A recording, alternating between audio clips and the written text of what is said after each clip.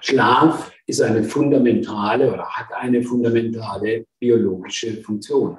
Wenn wir nicht essen, wenn wir nicht trinken, wenn wir nicht schlafen, werden wir sterben. Beim Nicht-Essen, da hängt es ein bisschen vom Ausgangszustand ab, das sind es 60 plus minus Tage. Beim Nicht-Trinken geht es relativ schnell, innerhalb weniger Tage.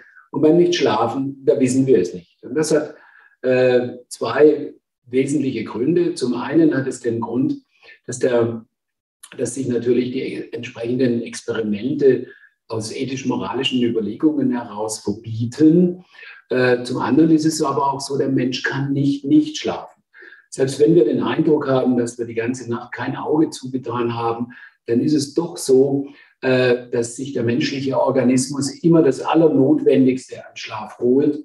Äh, selbst wenn wir subjektiv den Eindruck haben, dass wir nächtelang vielleicht gar kein Auge zugetan haben. Bekomme viele Anrufe in unserem Sekretariat, im interdisziplinären Schlafzentrum des Pfalzklinikums, wo Patienten anrufen. Ich brauche sofort einen Termin, haben nächtelang kein Auge zugetan. Da bleiben wir immer ganz cool und relaxed, weil wir wissen, der Mensch kann nicht nicht schlafen. Der menschliche Organismus holt sich immer das Notwendigste, was er benötigt.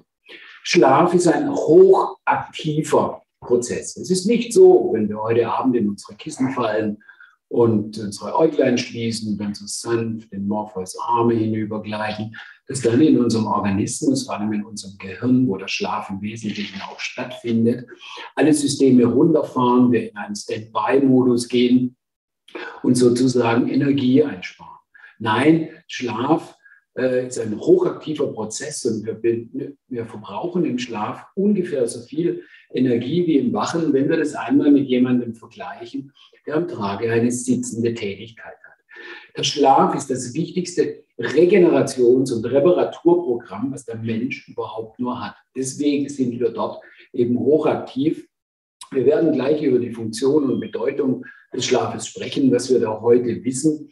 Ähm, aber ich kann Ihnen schon eines sagen, der Volksmund hat recht, wenn er sagt, Schlaf ist die beste Medizin.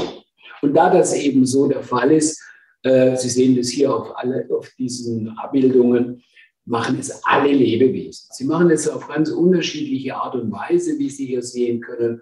Die einen rechts oben, der hängen sich an den Baum, klammern sich an den Baum, klammern sich aneinander beispielsweise, wie Sie das hier sehen können. Man ist im Schlaf zu manchen Kunststückchen in der Lage. Sie sehen hier, die stehen auf einem Bein, halten das Gleichgewicht, stecken den Kopf jetzt nicht in den Sand, aber ins Gefieder. Wir sprechen nachher noch darüber, muss es dunkel sein zum Schlafen.